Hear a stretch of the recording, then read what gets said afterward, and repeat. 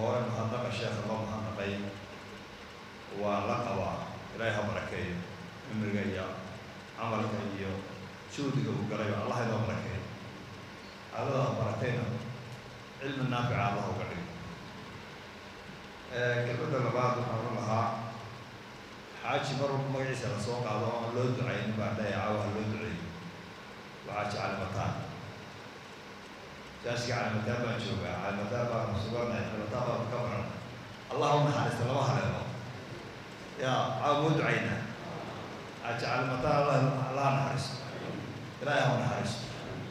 yacni marka masaajka taariikha dib u eego. Ilaa waktigaa laga hadlayo sheekh cabdullaahi cali geel ka hadlay. Oo dhowr iyo konton sano ka hor ah ee waxaa lagu baranayay daris kasta oo lagu dhigo iyo salaad lagu tukado iyo qur'aan lagu akriyo oon ashir ku lahayn waxaan is leeyahay ikhlaas iyo ilaahay dartiiba ku asaasay uu bixiyey dhulkaasi. Taasaa u soconaysa. Marka allah u naxariisto taasi kadib way ku soo dhacday inaynu caawa u ducayno waliba ninkiia magaciisa soo qaadaana. Uu ducadana ku daro. Ta labaad aan ku darna waxa weeye waxaa maxamed inoo sheegay in ardaydii bilowday ay iyar ka soo hadheen dhowr way dhacdo mar tafsiirka aynu isku daynay inaynu muxuu ahaa arday badan aynu muxuu ahaa yani ay bartaan imtixaan laga qaado. Berigaasna ilaa saddex boqol dhadhow baa is sideed iyo ka soo haray. Maanta waa lix iyo marka runtii waktiga dheer ku kala reebaa. Xagga waktiga waxaan leeyahay waktiga ha laga faaidaysto waa saacad ama waa saacad wax ka yar oo saddex habeenoo keliya weygiya danaha markaad qabsato intaa waad ka faidaysan kartaa marka runtii xagga waxaan leeyahay bal dawladda cusub ee imka la bilaabayo qof waliba waktigiisa haku maat yani haku simo oo haku qorshaysto inuu ka faa'iidaysto oo sabro oo cilmigaasi aan meel kale laga doonayna gurigiisa iyo fadhigiisa ugu yimi lala baryayo waa xujo waana nabsi waa laga yaaba meel dheer ka doonato. Haddii culimadu ka warramaan taariikhda marka laga taraajumta laga warramayo hal xadiid baa laga doonan jiray muddo bilaa loo socon jiray in la soo helo. Hal xadiid marka runtii waxaan leeyahay nafsigaasi aynu qabanayna aan ka faa'idaystaan cilmiga waxaan odhan lahaa hablaha wax bartay ee fiqiga bartay faqihaadka ah ee kuwan ay ka midka yihiin lixdan iyo inta kale aan ognahay ee jaamacadaha ka baxaysa weli inan fatwoota lama arag. Soo maa yaa la arkay weli. Sheekad soo fatwoota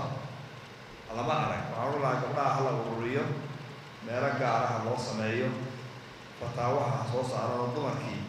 Marka culimada su'aalaha la weydiinayay fiqiga ah. Su'aalaha ugu badan dumar baa soo saara ayaa keena arrimo khaasaa jiro dumarka u khaasa oo had iyo jeer mediaha laga sheego wanaagsanayn waxaa leey dumarkaasi qaybtaas waa ku fillaan karaa qaybo kala badan waa ku fillaan karaa marka majaalis gaara iyo multaqaad gaaraha loo sameeyo gabdhaha waxbartay si loo dhiirigeliyo waa inanta marka intaasoo toddoba sano soo la soo jiigtay ee intaasoo cilmiga ay qaadatay ay faqiiha tahay codkeedii iyo cilmigeedii meel ay gaadhsaa ma jirto. Marka si loo dhiirigeliyo iyagana madaaris khaasa iyo maacid gaar ah loo sameeyo waa soo jeedin lahaa waxaan runtii ku soo gabagabaynaya kelmadeyda cilmu lfiqina waa laga warramay qiimaha uu leeyahay sheekh xasanna wuxuu ka warramay fiqu lxaraka in lagu horreeyo qoladii dhalinyarada ahaydee uu hogaaminayay ee saxwada iyo dacwadda bilowday inay awlawada siiyeen fiqi lxaraka fiqul waaqicna waa jiraayo nolosha loo nool yahay inaad ogaato amba ha haata noloshii lagu soo duushay ee dibadda nagaga timi amba dhaqankeennii maata umadnimo ha noqdee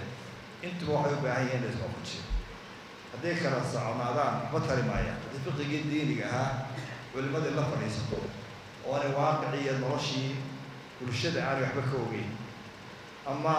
dacwadii iyo fiqu dacwa waxa la dhahdo oo si lagu baaqi lahaa aanay ku xirmin waa kala waxa weeye waa xoog iscaabin lahaa amba iscaawin lahaa oo kala maqan wey waxaana sib darra ah iyadoo fiqigaasi uu jiro oo culimadii maanta badan tahay oo fiqigii la basleeyey oo dakaatara noo soo baxday intii mutakhasisiin ku ah oo ilaahay khayra siiye baahi weyn aynu u qabnay in shareecadaasi aanay haddana bulshadeenna xukunkeeda ka dhex socday oo maxkamadihii iyo dowladdii iyo baarlamaanadii qawaaniin kale iyo hawlo kale ay wadwadaan. Bal waxaanu ka fekeri lahayn culimadu isaga timaada ay tahay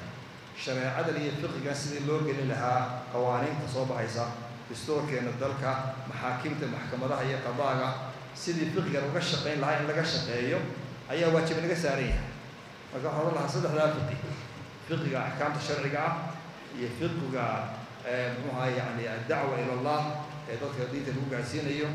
iyo fiqiga ku saabsan bulshada in la fahmo nolosheeda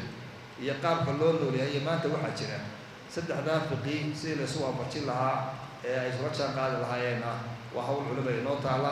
aad iyo aad baan maanta u soo mahadnaqayaa allah inoo barakeeyo hala laga faaidaysto dowladda dambe insha allahu tacaala wabilahi towfiiq wasalaamu calaykum